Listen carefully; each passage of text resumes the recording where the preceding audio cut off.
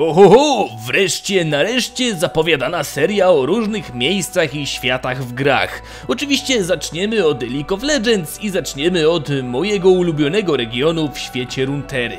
Dziś wybierzemy się do elitarnego i pięknego królestwa z długoletnią tradycją, znajdującego się w sąsiedztwie Freljordu oraz Noxusu. Witajcie moi drodzy, ja jestem Lorwek, udałem się na wyprawę do Demacji, zatem dziś opowiem wam historię tego regionu oraz powiem jaka jest rola i co robią postacie właśnie z Demacji.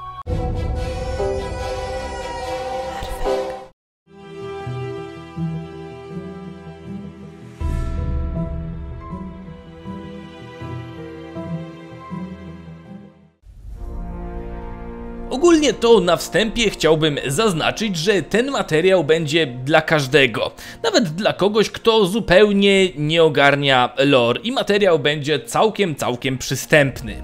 Jeżeli chodzi o regiony, jest tutaj dużo informacji i takie podstawowe informacje pojawią się dzisiaj, tak aby lepiej zrozumieć rolę i pozycję Demacji na mapie, a inny materiał będzie, albo bardziej drugi materiał będzie w formie ciekawostek, pojawi się kiedyś nie wiem dokładnie kiedy, bo tak na dobrą sprawę jakbym miał się rozwodzić nad wszystkimi aspektami demacji w jednym filmie, myślę, że spokojnie przekroczylibyśmy znacznik 40-minutowy, zatem o formacjach, szczeblach wojskowych czy walucie o takim już bardzo, bardzo, bardzo szczegółowym lore porozmawiamy kiedy indziej.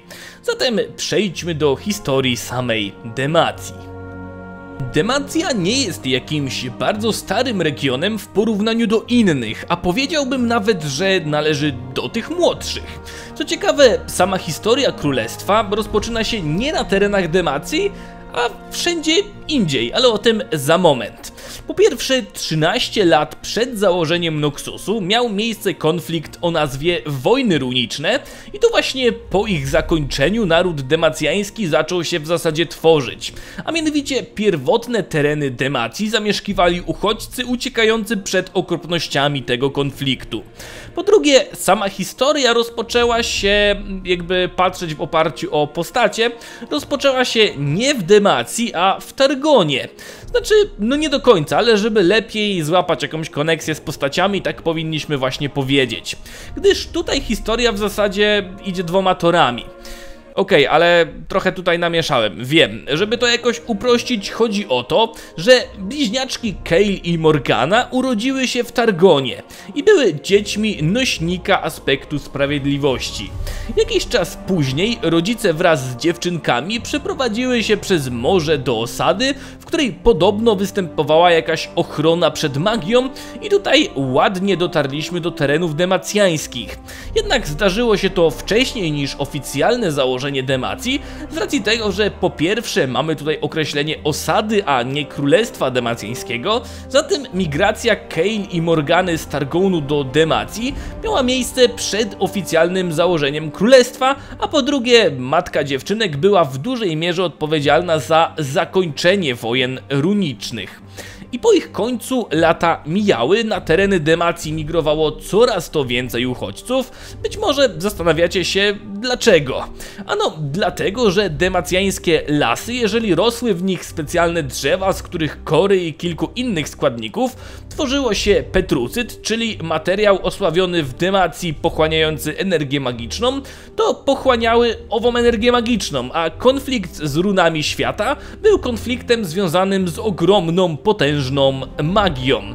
Więc nie dziwne, że niektórzy mieli tej magii dość i tam właśnie uciekali.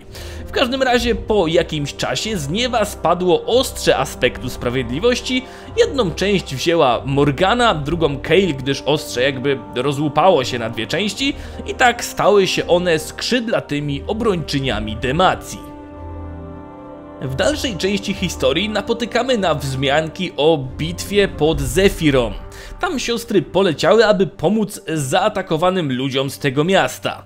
Kale zdecydowała się walczyć na pierwszej linii z żołnierzami, natomiast Morgana została z tyłu celem pomocy rannym i potrzebującym obywatelom.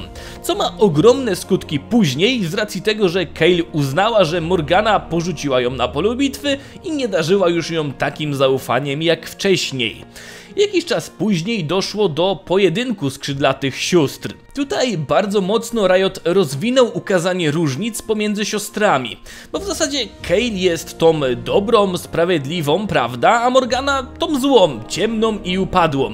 No moim zdaniem tak nie jest. Kale zwołała sztandar i założyła pewnego rodzaju sąd, w którym orzekała, że należy ścigać każdego buntownika i rebelianta. Co ciekawe, pomimo poprzedniej urazy do siostry, pozwoliła ona Morganie na zajęcie się tymi, którzy przyznali się do winy i okazali skruchę, co jednak nie podobało się ludziom wspierającym Kale. Tym skutkiem jeden z najważniejszych ludzi, Kale imieniem Rona, spróbował uwięzić Morganę, ale ta związała go mocą i zabiła. Gdy Kale dowiedziała się o tym, wściekła się, wzbiła w powietrze i wywołała boski ogień, który miał oczyścić całe miasto z grzechu. Sprzeciwiła się temu oczywiście Morgana, która wbiła się w powietrze za siostrą i stoczyła z nią pojedynek, którego następstwem była śmierć ich ojca. Kale udała się w niebiosa, natomiast Morgana pozostała w granicach Demacji, choć na jej obrzeżach, aby naprawiać zło. I tak z upływem czasu siostry stały się dla Demacjan legendami. O Morganie praktycznie zapomniano, choć niektórzy jeszcze pamiętali o skrzydlatej Kale. I tak lata mijały, dziesiątki i setki, aż w 292 roku po założeniu Noxusu, a zatem około 700 lat przed teraźniejszymi wydarzeniami w League of Legends, wielki bohater Orlon założył Królestwo Demacji. Co ważne, jest on założycielem, a nie pierwszym królem demacjańskim, bo to właśnie on koronował kogoś, nie wiemy do końca kogo, na pierwszego władcę. Tutaj z kolei wchodzą kolejne dwie postacie. Jeżeli mówiliśmy o Orlonie, nie sposób tutaj nie powiedzieć o Popi, która zaprzyjaźniła się z demacjańskim bohaterem, który dzierżył jej młot, lecz młot nie był jego. Według legendy broń ma osiągnąć swój pełny potencjał tylko w rękach prawdziwego bohatera Demacji i wiemy, że nie był to Orlon. Jednak na łożu śmierci przekazał on swój młot Popi, a ta poszukuje jego prawowitego właściciela, bohatera demacjańskiego, który ma być jego prawowitym właścicielem. Niestety Popi nawet przez myśl nie przeszło, że może chodzić właśnie o nią. Drugą postacią, która się tutaj pojawia jest to Galio. Jest on wielkim pomnikiem z Petrucytu, czyli wspominanego wcześniej materiału pochłaniającego magię. Został on stworzony przez Duranda, rzeźbiarza posiadającego ogromną wiedzę o Petrucycie, wiedział jak go przygotować i jak go wykorzystać i stworzył on największe dzieło z tego materiału, czyli Galio. Co ciekawe, jeżeli zastanawiacie się, dlaczego dużo w demacji skrzydeł, to nie pochodzą one od Kale i Morgany, ale właśnie od Galio. Prawie 400 lat później doszło do wojny między Noxusem a Demacją, w której, co zapewne sporo graczy teraz już wie, wydarzyły się dwie rzeczy. Po pierwsze zginął Jarvan I z ręki Siona, lecz Sion również okupił to swoim życiem.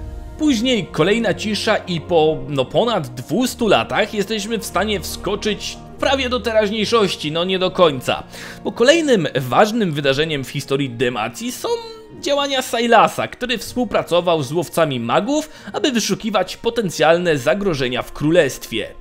Niestety bądź stety, chłopak zaczął zauważać hipokryzję wśród Demacjan, gdyż wysoko postawieni szlachcice chcieli pozbywać się magów, a Sylas, korzystając ze swojej mocy, mógł poznać, kto jest magiem, a kto nie. I widział, że wśród głośno krzyczącej szlachty są również magowie. Dlatego zaczął kwestionować rozumowanie w Demacji. Na jednej z misji w służbie łowców magów Silas niechcący pochłonął część magii pewnej dziewczyny uzdolnionej magicznie, nie był w stanie kontrolować tej mocy, gdyż było to dla niego coś nowego i dwóch adeptów, Greymark oraz Vanis i dziewczynka, z której jakby mocy skorzystał Silas, zginęli. Bohater uciekł na pustynię, jednak po kilku miesiącach został złapany i wtrącony do więzienia łowców magów, w którym spędził kolejne 15 lat.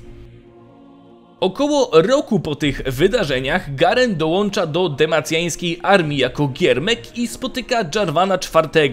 Zaprzyjaźnia się z nim, gdyż wie, że Jarvan kiedyś będzie królem, któremu będzie służył. Przez kilka kolejnych lat Garen służył w różnych kompaniach i rozpoczął próby niezbędne do wstąpienia do nieustraszonej gwardii, najbardziej elitarnej jednostki armii demacjańskiej. Jednocześnie podczas prób Garena Jarvan został mianowany generałem i udał się na bitwę o nazwie Bitwa niedaleko gór Argent. Była to bitwa, w której ścierały się wojska noksjańskie i demacjańskie. Z początku armie Jarvana wygrały, jednak wojska Noxusu zostały wysłane w inne miejsce, dokładnie do bram żałoby i tam wygrywają walkę z nieustraszoną gwardią, na co Jarvan zareagował wkroczeniem na noksjańskie terytorium, został otoczony i pokonany przez Noksjan, ranny uciekł i schował się w lesie, gdzie spotkał Szywanę, która uratowała go i zaniosła do zamku we Wrenomurze. Tak Szywana i Jarvan wraz z obsadą zamku zabili matkę Szywany Iwę. Po wygranej wrócili razem do stolicy Demacji z głową smoczycy i Jarvan obiecał Szywanie, że zawsze będzie dla niej miejsce w królestwie. Około dwa lata później Lux wraz z rodzicami udała się do wielkiego miasta Demacji, czyli stolicy, aby być świadkami tego, jak Garen wreszcie dołącza do nieustraszonej gwardii. Tutaj przechodzimy w zasadzie do ostatniej części historii królestwa, moim zdaniem najważniejszej, gdyż genialnie pchającej nas w teraźniejszość. Otóż Lux poznaje Sylasa zamkniętego w więzieniu łowców magów. Ta zaczyna go odwiedzać i zaprzyjaźnia się z nim. Silas od razu, pomimo tego, że był zakuty w kajdany z petrucytu, poczuł, że Luxanna jest potężnym magiem. Zawarli pewien układ. Silas uczył Lux kontrolować jej moc, a z kolei Lux przynosiła Silasowi różne rzeczy do czytania.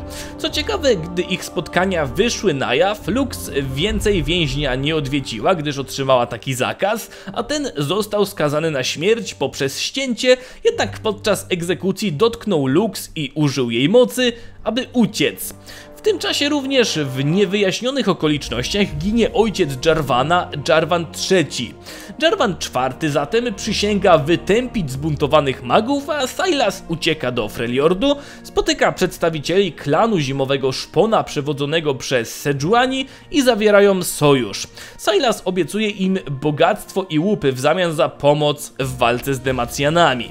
Historia kończy się sceną w Warriorsach, gdzie Garen i Lux wraz z żołnierzami odpierają atak Silasa. Zatem to jest szkielet całej historii Demacji, królestwa, które pierwotnie było pełne ideałów i wzniosłych haseł, a ukazało się zepsute od środka i aktualnie trwa tam wojna domowa.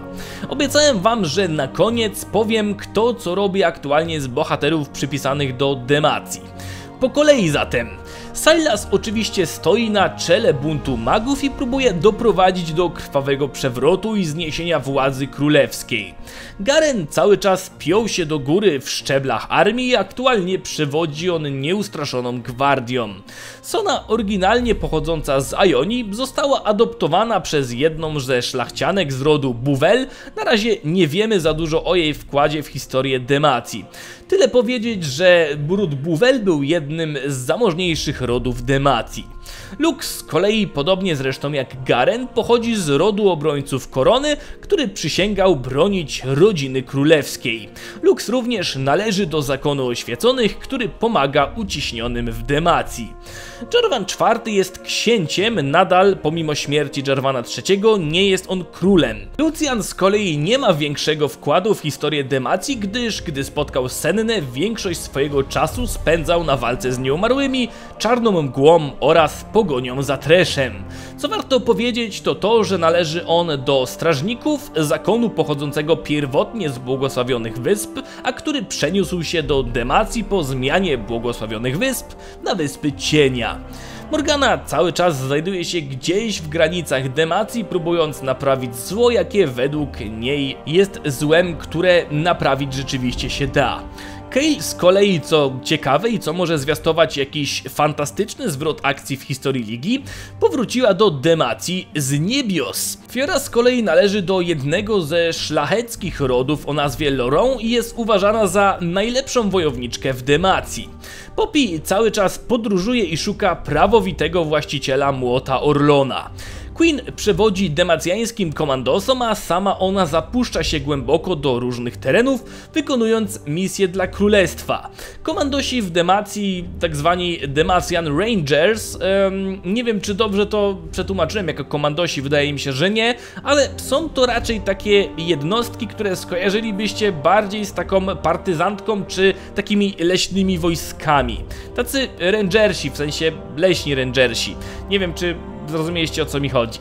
W każdym razie dalej Szywana aktualnie ze względu na jej przyjaźń z Jarvanem należy do armii demacjańskiej, choć większość demacjan, większość armii tego nie akceptuje.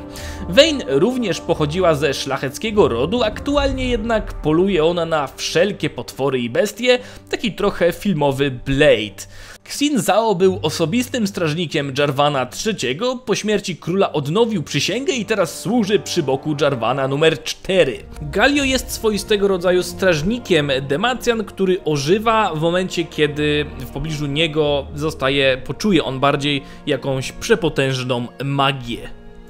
Moi mili, jeżeli chodzi o wojska, architekturę, walutę, czy już konkretne miejsca w Demacji, czy jakieś inne strasznie, strasznie szczegółowe rzeczy, to omówimy to w innym materiale. Serię czym jest, a jest to jej pierwszy odcinek, dlatego tak trochę gadam dużo o rzeczach pobocznych, traktuję jako podstawowe określenie albo podstawowe omówienie bardziej regionu dla tych, którzy chcieliby w ogóle wiedzieć kto, jak, z kim i dlaczego w ogóle w Demacji. Jeżeli wam się podobało, dajcie znać, żebym wiedział, że chcecie takie materiały. Tyle ode mnie, widzimy się w kolejnych i możecie zaproponować jaki region chcecie następny. Trzymajcie się, cześć!